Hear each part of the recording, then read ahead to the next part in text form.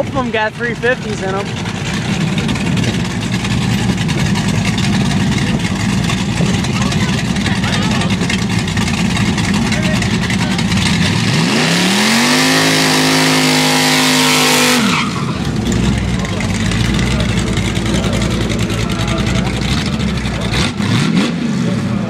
I drive that to work every day.